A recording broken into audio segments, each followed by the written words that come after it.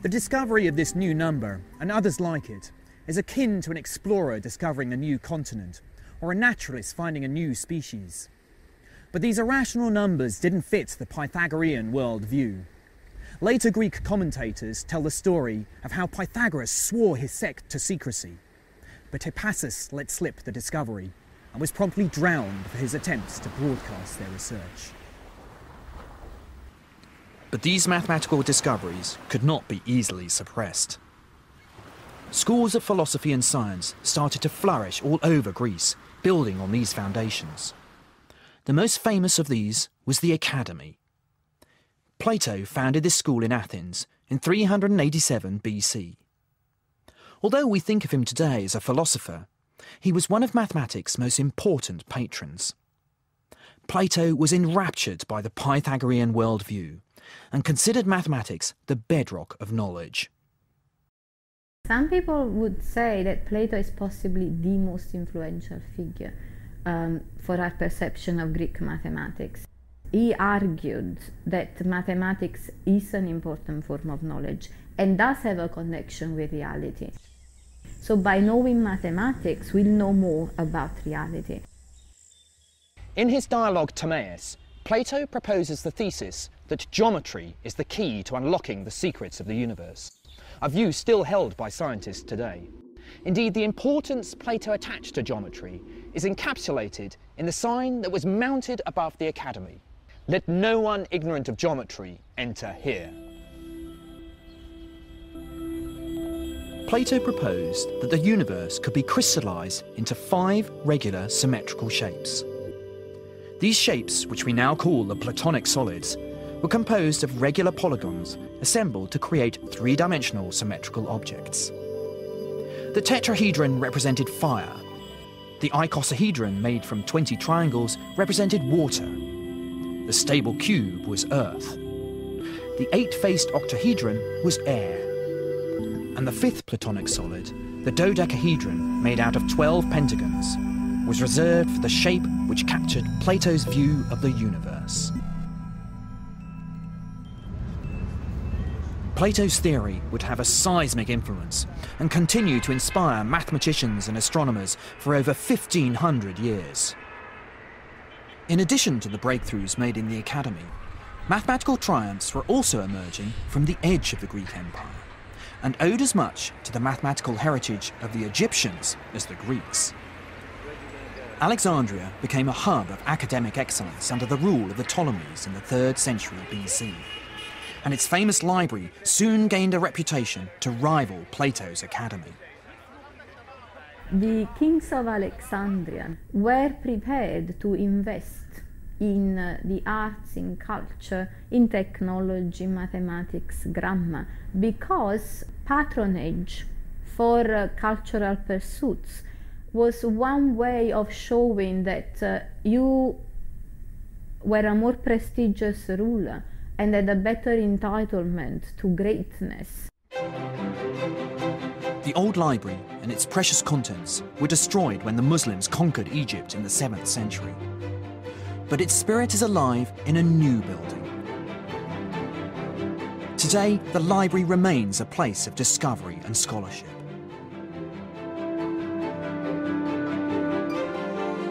Mathematicians and philosophers flocked to Alexandria driven by their thirst for knowledge and the pursuit of excellence. The patrons of the library were the first professional scientists, individuals who were paid for their devotion to research. But of all those early pioneers, my hero is the enigmatic Greek mathematician Euclid. We know very little about Euclid's life, but his greatest achievements were as a chronicler of mathematics. Around 300 BC, he wrote the most important textbook of all time, The Elements.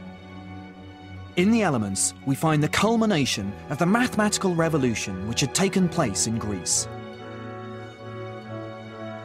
It's built on a series of mathematical assumptions called axioms.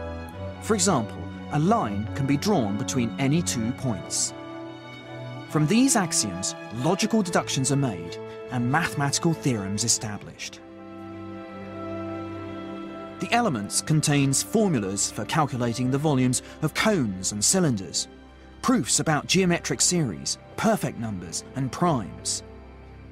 The climax of the Elements is a proof that there are only five Platonic solids.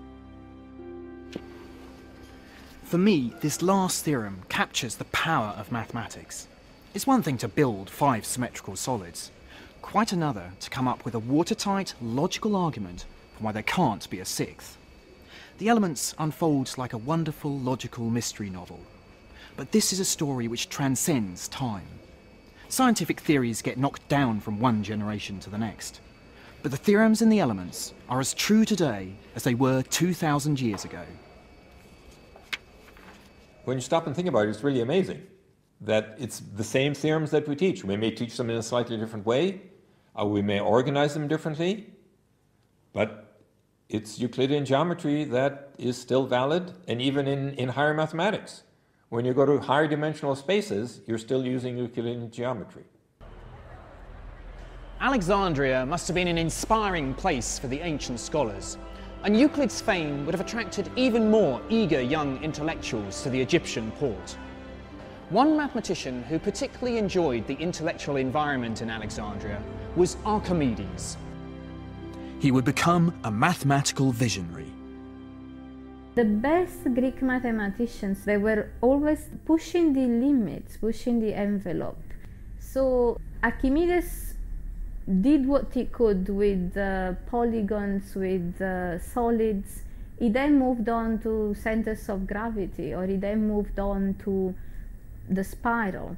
Um, this instinct to try and mathematize everything is something that um, I see as a legacy. One of Archimedes' specialities was weapons of mass destruction. They were used against the Romans when they invaded his home of Syracuse in 212 BC. He also designed mirrors which harnessed the power of the sun to set the Roman ships on fire.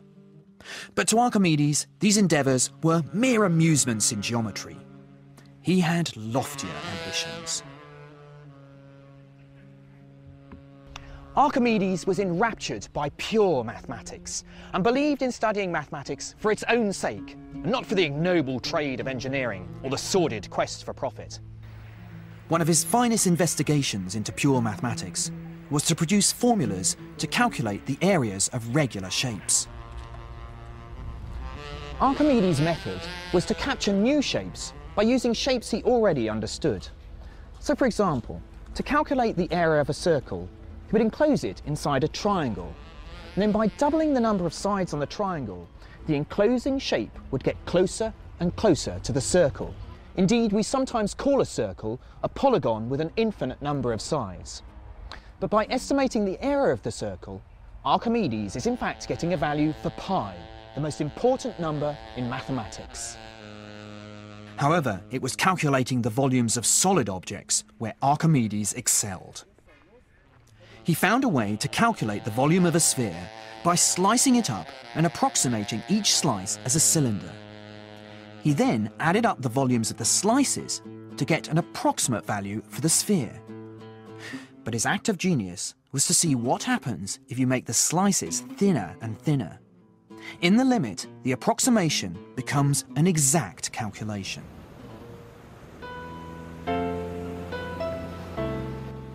But it was Archimedes' commitment to mathematics that will be his undoing. Archimedes was contemplating a problem about circles traced in the sand when a Roman soldier accosted him. Archimedes was so engrossed in his problem that he insisted he be allowed to finish his theorem. But the Roman soldier was not interested in Archimedes' problem and killed him on the spot. Even in death, Archimedes' devotion to mathematics was unwavering.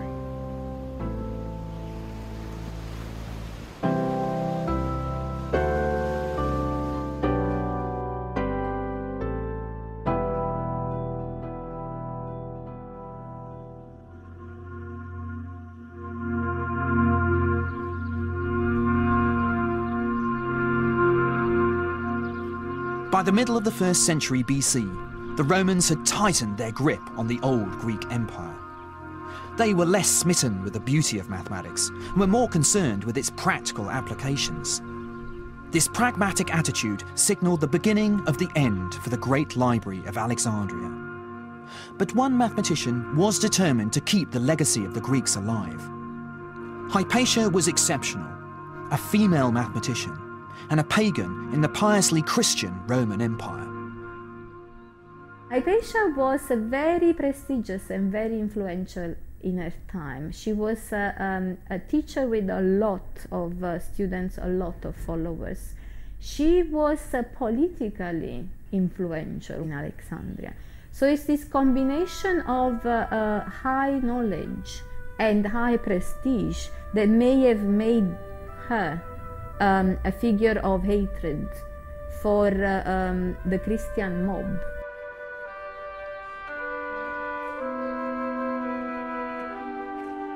One morning during Lent, Hypatia was dragged off her chariot by a zealous Christian mob and taken to a church. There, she was tortured and brutally murdered.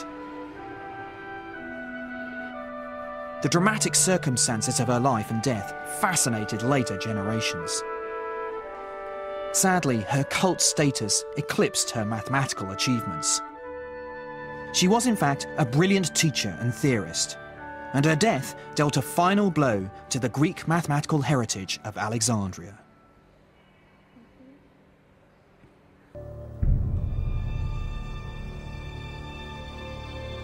My travels have taken me on a fascinating journey to uncover the passion and innovation of the world's earliest mathematicians. It's the breakthroughs made by those early pioneers of Egypt, Babylon, and Greece that are the foundations on which my subject is built today. But this is just the beginning of my mathematical odyssey. The next leg of my journey lies east in the depths of Asia, where mathematicians scaled even greater heights in pursuit of knowledge. With this new era came a new language of algebra and numbers, better suited to telling the next chapter in the story of maths. You can learn more about the story of maths with the Open University at open2.net.